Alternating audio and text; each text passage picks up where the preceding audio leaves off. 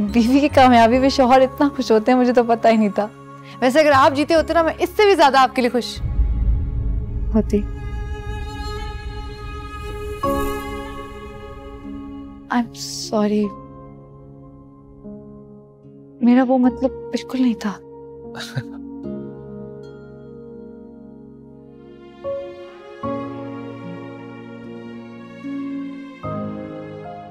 तुम जीतो या मैं जीतूं।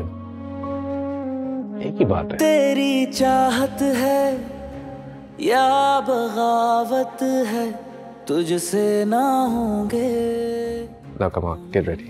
I'm waiting downstairs.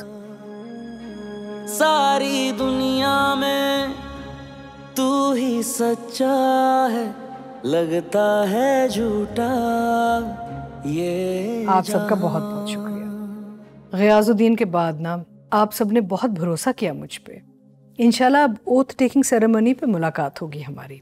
जी।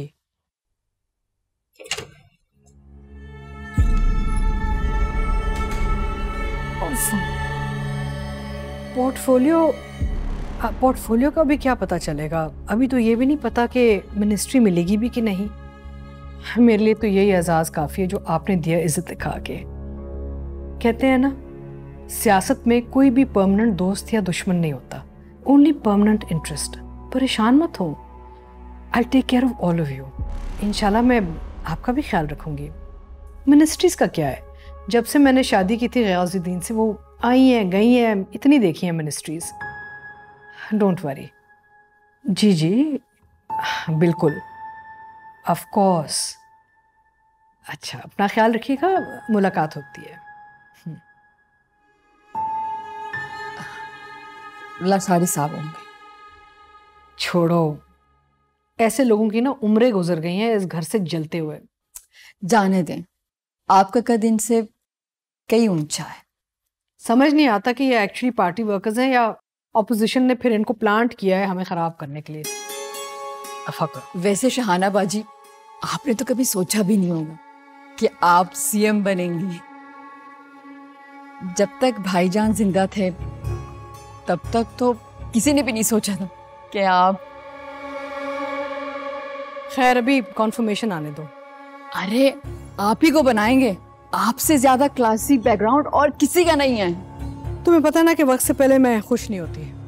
बहुत बहुत मुबारक हो आपको शाहाना भाभी। आप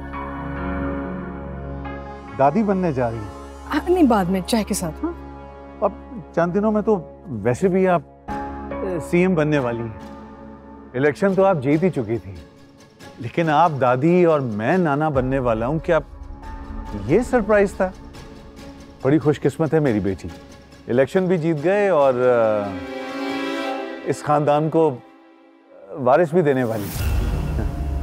आप शायद भूल रहे हैं। इस खानदान का एक अदद वारिस शहरोज का बेटा अमेरिका में वो हमारा वारिस नहीं है।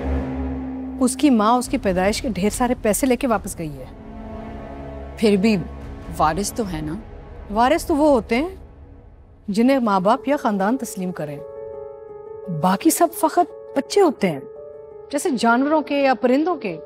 बिल्कुल वैसे। हाँ लेकिन शहरोज ने अपने बच्चे के वजूद से इनकार तो नहीं किया ना? हाँ लेकिन तस्लीम भी नहीं करेगा। और मैं उसको करने नहीं दूँगी।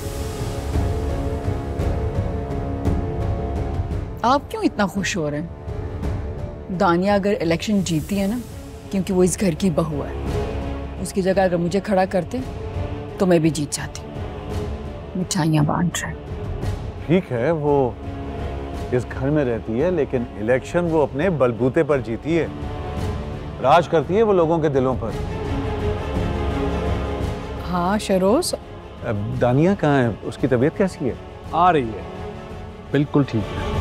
अब तुम उसका ख्याल रखा करो। तुम्हें ख्याल रखना है उसका। सलाउद्दीन साहब, वैसे इस दौर में भी कोई इस तरह की बात करे ना तो बहुत अजीब सा लगता है। भाई, दानिया बच्ची थोड़ी वो अपना ख्याल खुद रख सकती है।